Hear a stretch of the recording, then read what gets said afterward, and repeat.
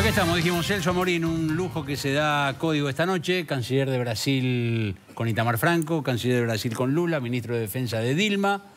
Gracias Eh, por estar, ¿eh? Gracias. Gracias, un honor estar aquí. Eh, ¿Cómo es esto? ¿La van a destituir a Dilma? ¿Usted qué piensa? Hoy la Comisión Evaluadora del Senado, 14 a 5, dijo, al Senado hay que destituir. Bueno, la votación de la comisión ya se esperaba, no, no había ningún cambio en relación a lo que pasó cuando se discutió la admisibilidad.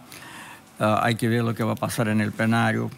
Bueno, es, es difícil, es una batalla difícil convencer a, a los tres o cuatro que serían necesarios para Ajá. evitar la, la- lo impeachment. Ahora, dígame, eh, Pero uno no desiste antes que no, claro, la última- claro, el claro, último claro.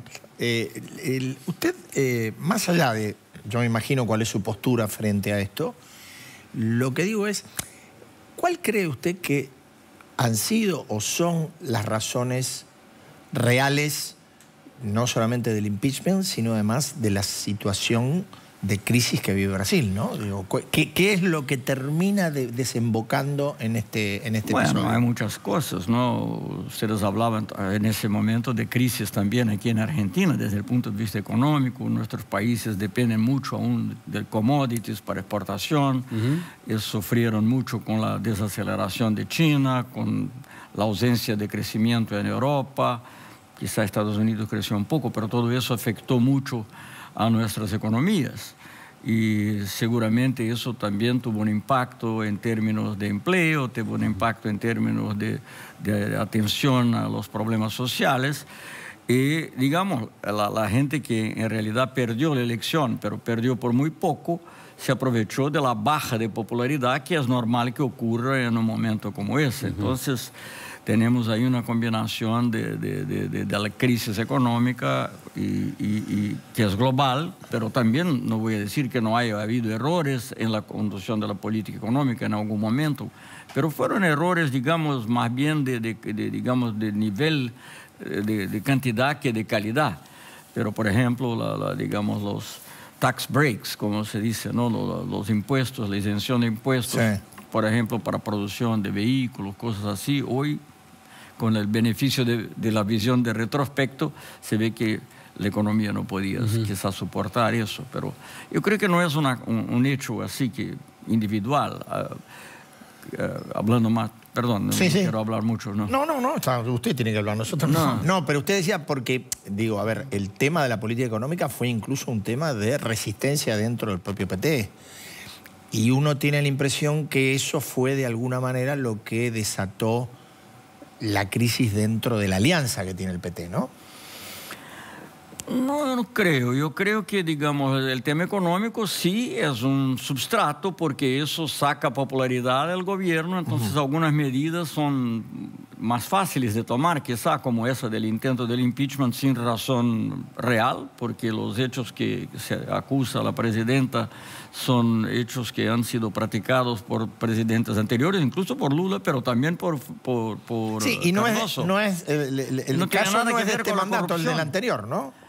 Bueno, eso también es una otra complicación, pero de todas maneras no tiene, era, era la práctica. Sí. Bueno, eh, muchos de los ex- expertos consideran que Dilma no tuvo nada que ver con algunos de los actos y además los actos, lo que se convencionó llamar de las pedaladas fiscales, que son, digamos, alguna, un retraso en el pago a los bancos estatales. Era algo que ya había ocurrido, que ocurre en los, en los gobiernos de, de las provincias, de los estados, como llamamos nosotros, sin que eso hubiera causado ningún problema.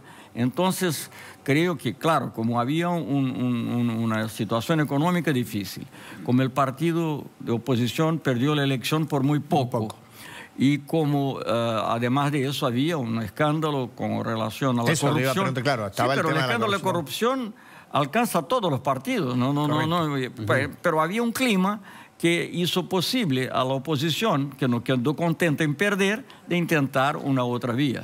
Eh, Amorín, de todos modos uno puede decir, mira Argentina, mira Brasil, mira Venezuela, y quizás se puede establecer algún paralelo, y le pregunto si es posible esto, entre la caída del valor de los commodities, o sea, de las ventajas comparativas de las economías de estos países que han tenido sistemas populistas, eh, los hechos, Brasil no tanto, dirá usted, Eh, los hechos de corrupción que se fueron denunciando y que fueron creciendo involucraron a, a los gobiernos o a los gobiernos de la oposición, como el caso de Brasil, y se creó un clima en el cual eh, la capacidad de resistir políticamente de estos, de estos regímenes, de estos gobiernos, se cae. No, eso es verdad. Bueno, aquí eh, tenemos el gran argentino Raúl Prebisch que habló del deterioro de términos de intercambio. Es lo que pasó ahora, pero de manera muy acelerada, ¿no? Y eso creó el, ambiente de crisis. Pero cuando se habla de corrupción también es necesario ver, eh, no es que los brasileños sean más corruptos que los otros o que, o que nosotros en Latinoamérica seamos más corruptos que en Europa o que en Estados Unidos. El problema, en el caso de Brasil, seguramente que el sistema político es un sistema que es inductor de la corrupción. Eso no disminuye la responsabilidad de los que se corrompieron, obviamente. ¿Cómo lo induce? ¿Por qué es inductor? Claro. Porque las elecciones, para decir en muy pocas palabras, son muy caras y hay muchos partidos. Entonces son muy caras eso es una inducción a que se busque la plata a donde él existe. Pero son, perdón, cuando usted habla de son muy caras, son muy caras las campañas electorales. Las campañas electorales. Bueno, acá también, ¿eh? Pero en Brasil, no sé, no puedo comparar con Argentina, no conozco tan bien, pero cuando uno piensa que un diputado para ser elegido, por ejemplo, en el estado de São Paulo, es un diputado que tiene que ser elegido en un colegio electoral que tiene 35 millones de, de o 30, 25 millones de votantes, es algo que hace la campaña naturalmente muy cara. Y eso es una visión que todos, todos hace tiempo se tiene en Brasil, pero no se puede cambiar porque las personas que podrían cambiar son las personas que están electas bajo ese sistema. Y, bueno, y, además de eso, un, sistema de, una multiplicidad de partidos que hace con que muchos de esos partidos sean partidos que en realidad están ahí para servir a uno o a otro sin ninguna ideología propia. ¿Cómo, ve usted el, papel, en, este marco, el, papel de la justicia brasileña? Que es la que ha, llevado adelante con mucha espectacularidad. Nosotros acá no conocemos el detalle, pero uno ve una actuación de la justicia que tiene la capacidad de juzgar a quienes están en el poder. Que no pasa acá eso. Yo creo que como en toda la vida hay lados buenos y lados no tan buenos, digamos así. El lado bueno es que en realidad mucha gente poderosa está siendo juzgada por cosas que fueron hechas que están erradas. El lado no tan bueno es que quizá, no sé si solamente la justicia, pero la combinación de la justicia, la manera como los medios trataron el tema, hace con que algunos sean, digamos, eh, más atacados que otros, por una parte, y por otra parte también que se lleve de una manera muy usted utilizó, creo, el término, muy espectacular. Y la justicia no tiene que ser espectacular, la justicia lo mejor es que sea silenciosa. en Brasil pasa hoy el opuesto. La, justicia eh, es algo muy, no digo toda la justicia, pero algunas acciones son totalmente espectaculares, con, eh, cuando se deja la, la, prensa tomar conocimiento de procesos cuando están aún bajo segredo de justicia, y eso de una manera que es manipulada, es manipulable. Y eso pasó de manera muy fuerte. Por ejemplo, uh, yo no quiero hacer comparaciones, pero por ejemplo, cuando se habla de, de, de, de necesidad de, hacer testimonio, de estar presente a la, a, a la justicia, Lula nunca se recusó. No había ninguna razón para que Lula fuera, en Brasil tiene una palabra... Sí, sí conducido coercitivamente, como se dice, que es difícil traducir, pero si uno ah, va a traducir en inglés, es ah. detenido, es detained. En francés es garde à vue. Entonces, en realidad se toma una persona presa, en realidad detenida, cuando la persona está disponible, cuando había dicho que podía. Entonces, eso, pienso yo, eso es que para tener... ¿Ah? Sobreactuación. Me parece que sí. Yo no, yo no puedo, no voy hoy, hoy, hoy yo juzgar la justicia, pero mi opinión ah. como ciudadano es, eso es, demasiado. Y, bueno, eso es un ejemplo muy claro, creo. Eh, leí en estos días, a propósito de la situación en Brasil, eh, la opinión de un analista que decía, cuando, no me acuerdo exactamente en qué año fue destituido Fernando Collor de Melo. 90 y... 94, ¿no? No, no, 92. 92. Cuando se destituyó eh, por juicio político, por impeachment al color de Melo, Brasil encontró una salida para una mejora social y un, reacomodamiento de su economía. Fue presidente después Fernando Enrique Cardoso. No, pero inmediatamente fue Itamar Franco. Itamar y, después, Fernando. Cardoso, pero Cardoso era el ministro de Finanzas de Itamar. Y fue cuando el plan real, ahí, el plan es, es, el mismo mérito que hay que darle a Dualde porque Dualde deja la economía argentina Sí. encaminada hasta que llega Kirchner. Sí. Dualde, además lo invitó a la, y el movimiento pro- productivo invitaron Efectivamente, a Morín estuvo, a la ¿no? Argentina. No, eh, Lula siempre citaba que Dualde tenía el gran mérito y le comparaba incluso alguna vez a. Itamar Franco, que tuvo esa capacidad. Pero es muy interesante que usted mencione... Pero de- Ter- déjame ter- termi- terminar. termino la pregunta solamente con esto. Con Itamar, con Itamar, con la caída de color de Melo, se analiza hoy que la economía y la situación social brasileña mejoraron. ¿Podría pasar lo mismo o lo contrario si es destituida Dilma? Bueno, ah, yo creo que estructuralmente no veo que va a mejorar, pero eso es una discusión larga que puedo tener inmediatamente porque creo que va a implicar muchas privatizaciones, mucho, ah, ah, mucho eh, un, un bloqueo muy grande de, de los gastos públicos en un país que tiene muchas necesidades. Brasil, la educación en Argentina, por ejemplo, ustedes pueden quejarse, pero está mucho más avanzada que en Brasil. Y sa- en salud tenemos un problema muy grave. Pero déjame decir una cosa que es muy importante, porque usted mencionó Collor de Melo, y eso es muy interesante para ver la situación actual. La, la destitución de Collor de Melo unificó el país. Y la destitución de Dilma dividió Divide. el país. Y creo que ese es el problema grave que vamos a tener que enfrentar cualquier que sea el resultado eh, del impeachment. El país muy dividido, porque es- es decir, yo comparaba con un amigo mío, sin entrar en detalles, estaba aquí la presidenta, la vicepresidenta, creo que no, no quiero decir, no quiero entrar en el mérito de la situación argentina, pero gráficamente un amigo mío argentino, pero que vive en el exterior, dice, pero al final, ¿qué, qué pasó en Brasil? Yo digo, bueno, parecido con lo que le pasó en Argentina, de, de Cristina para Macri, con la diferencia que no hubo una elección de promedio. Es una pequeña diferencia. No, no, sí, sí. Entonces eso genera no solo oposición, que sería natural entre partidos que piensan distinto, pero también una muy Ahora- fuerte, un muy fuerte resentimiento que va a quedar por mucho tiempo. Dígame, eh, ¿Qué no pasó con Collor? Que no pasó. no, no, no. No, no, nadie apoyó Collor. Eh, en la hipótesis de que los sucesos sean eh, finalmente el- el- la separación de Dilma, eh, ¿usted ve, no me mencione a Lula porque me imagino que usted lo tendrá a flor de labio, ¿usted ve algún liderazgo emergente que pueda enfrentar esta situación de, bueno, unir lo que está dividido? Bueno, crear una- un nuevo liderazgo que pueda sustituir Lula es algo que va a tomar tiempo. Va a tomar tiempo, no, no, no es posible. Hay gente con potencial, creo yo, en el PT, en otros partidos también, ah, para hablar del campo más progresista. que- que, ah, Marina Silva. bueno, Marina también es un liderazgo, indiscutiblemente, una persona que tiene una historia de vida muy fuerte.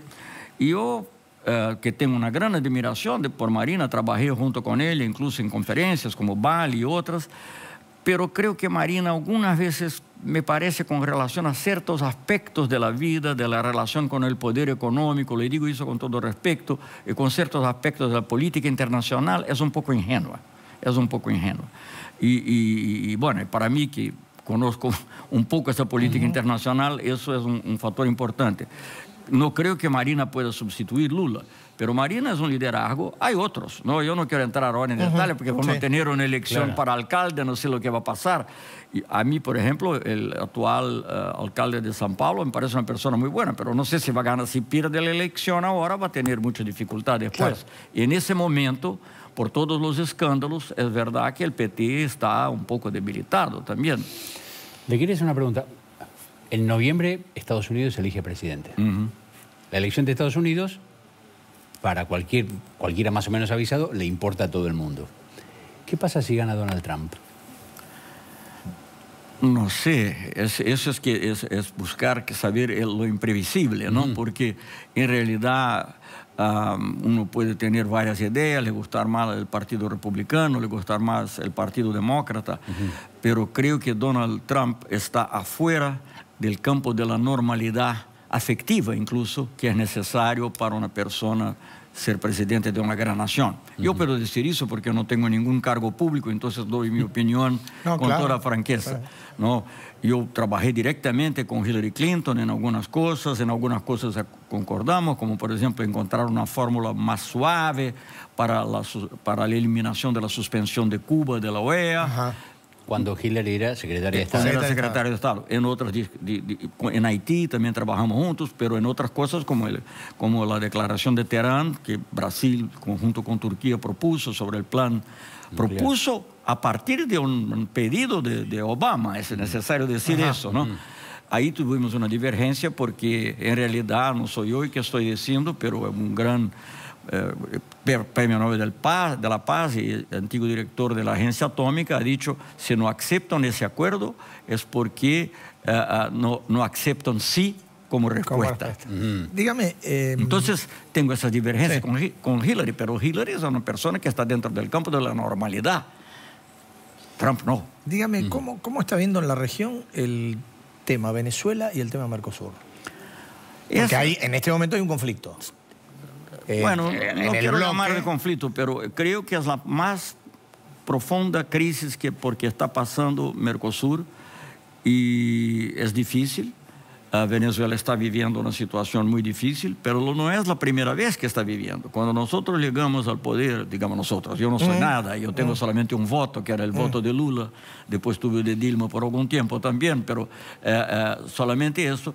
El hecho es que cuando, cuando llegó Lula al poder, había una crisis muy fuerte. Claro, cuando uno mira hoy parece que la de hoy es peor, pero en aquel momento aquella parecía muy fuerte también, con enfrentamientos de la población en el centro de Caracas y todo eso. Y se resolvió por el diálogo. ¿Cuál fue la, cuál, fue la propuesta que Brasil hizo? Vamos a crear un grupo de amigos de la Venezuela. No eran amigos de Chávez. No es como se dice, ah, no, Brasil fue con los bolivarianos. Chávez no le gustaba. Fidel Castro usó una protesta con, con Lula, llamó Lula a su apartamento para decir, no, no puede proponer eso. Y Lula propuso el grupo de amigos que tenía Brasil, obviamente, pero tenía Estados Unidos, tenía otros países, y se logró hacer incluso el referendo revocatorio, Chávez lo ganó, con observación de la OEA. Entonces, no es por que, que tenga que hacerse la misma cosa ahora, porque cada situación es una situación. lo que quiero decir es que con persuasión y con diálogo se llega a algo, y con condenas, acciones que son en realidad sanciones, porque no dejar a Venezuela asumir la presidencia es una sanción, es una sanción, como vi tantas en Naciones Unidas con efectos muy maléficos. Podríamos seguir un montón de tiempo más. Toda la noche. Se nos acabó el tiempo acá de la tele. Gracias, Muy amable, ¿eh? muy amable por acompañarnos.